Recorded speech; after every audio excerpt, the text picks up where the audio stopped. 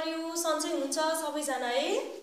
आज मैले class nine र टेनको लागि नेपाली व्याकरणमा शब्द भण्डार लिएर आएको छु। आज शब्द भण्डारमा हामी पर्यायवाची शब्द विपरीतार्थक शब्द अनेकार्थक शब्द र श्रुतिश्रम भिन्नार्थक शब्द पढ्छौँ है त? हुन्छ? हुन्छ है? हामी पढ्ने ल है त? पर्यायवाची शब्द भनेको के हो त? ल हेर्नुहोस् है? परिभाषा पढ्ने पहिला। समान अर्थ दिने शब्दहरूलाई पर्यायवाची शब्द भनिन्छ।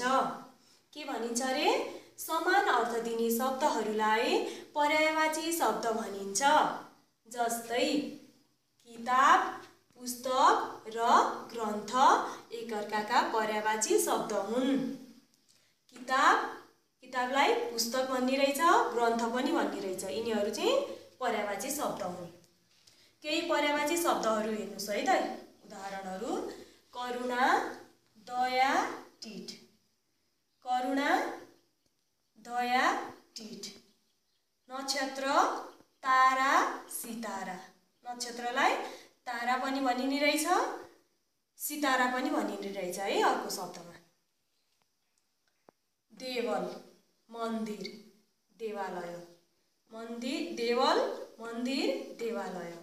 विप्लव विद्रोह क्रान्ति।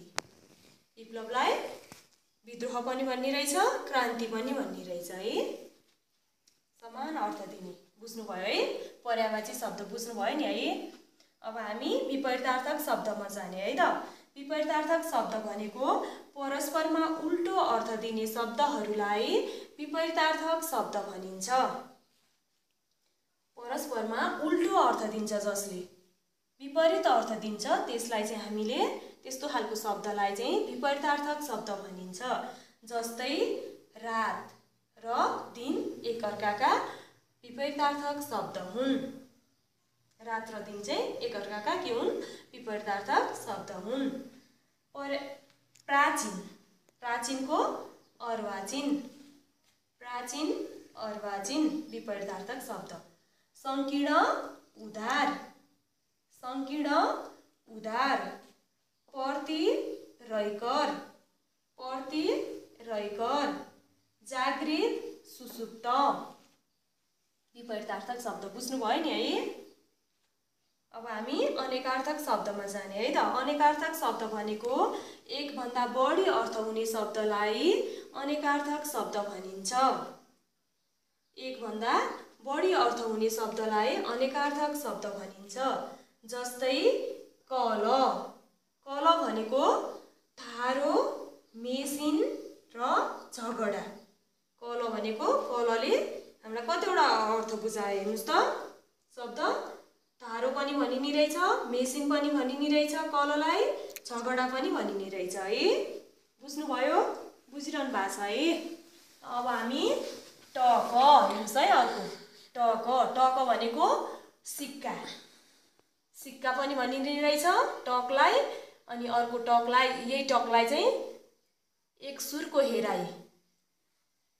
एक सुरको हेराइलाई पनि हामी टक भन्छौँ है। नाल नाल भनेको फोहोर फाल्ने ठाउँ अर्को बन्दुकको पाइप। बुझ्नुभयो? नाल भनेको फोहोर फाल्ने ठाउँ बन्दुकको पाइप। जग आधार एउटा बेस एउटा अर्को भाँडो। मास महिना। महिनालाई पनि के भन्छ? मास भन्छ। कालो दाल खाने दाललाई पनि मासको दाल भन्छ है। बुझ्नुभयो नि? अनेकार्थक शब्द। अब हामी श्रुतिश्रम भिन्नार्थक शब्दमा जाउँ। श्रुतिश्रम भिन्नार्थक शब्द भनेको बोल्दा उस्तै सुनिने तर लेख्दा केही फरक र अर्थमा चाहिँ पुरै भिन्नता हुने शब्दहरूलाई श्रुतिश्रम भिन्नार्थक शब्द भनिन्छ। के हो अरे त? श्रुतिश्रम भिन्नार्थक शब्द भनेको के रहेछ? बुझ्नुभयो? बोल्दा उस्तै सुनिने तर लेख्दा केही फरक र अर्थमा चाहिँ पुरै भिन्नता हुन्छ। त्यस्तो खालको शब्दहरूलाई चाहिँ श्रुतिश्रम भिन्नार्थक शब्द भनिन्छ। बुझ्नुभयो? अन्न खाने अनाज।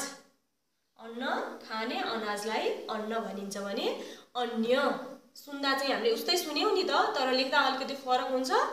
अनि अर्थ पनि पुरै अर्थमा चाहिँ पुरै भिन्नता हुन्छ। यो अन्यले अर्कोलाई बुझायो है बुझ्नुभयो? चिर रसो चिरले लामो समयलाई बुझायो भने दीर्घ चिरले लुगालाई चाहिँ बुझायो है। हेर्नुहोस् सुन् सुन्दाखेरि हामीले चिर चिर एउटै सुनिया छौँ तर लेख्दा अलिकति फरक छ केही फरक छ। र अर्थ भने फेरि पुरै फरक छ ल हेर्नुहोस् है त। लामो समय रसो चिरले लामो समयलाई बुझायो। चिर दीर्घ चिरले लुगालाई चाहिँ बुझायो। गर्व घमण्ड। गर्व भनेको घमण्ड हो यो गर्वले घमण्डलाई बुझायो भने यो गर्वले पेटलाई बुझायो। समवेदना समवेदना अनुमति। यो समवेदनाले संवेदनाले अनुमतिलाई बुझायो भने समवेदना अर्को छ यसले चाहिँ समान खालको पीडालाई बुझाउँछ है। बुझ्नुभयो? संवेदना अनुमति समवेदना समान खालको पीडालाई बुझायो। बुझ्नुभयो? श्रुति सम्भिन्नार्थक शब्द र आज हामीले आजको क्लासमा पर्यावाची शब्द विपरीतार्थक शब्द अनेकार्थक शब्द र श्रुति सम्भिन्नार्थक शब्दहरूको परिचयसहित उदाहरणहरू पढ्यौँ। है बुझ्नुभयो है तपाईँहरूले? अब गृह कार्य गर्ने है त। अब अभ्यास पढेपछि त हामीले अभ्यास गर्नु पर्यो होइन? गृह कार्य गर्नु पर्यो गृह कार्यमा तलका शब्दको दुई दुईवटा पर्यावाची शब्द लेख। हेर्नुहोस् है गरिबको पर्यावाची दुईवटा लेखिदिनु पर्यो हजुरहरूले। आनन्द आनन्दको पनि दुईवटा लेख्नु पर्यो कष्ट दिन।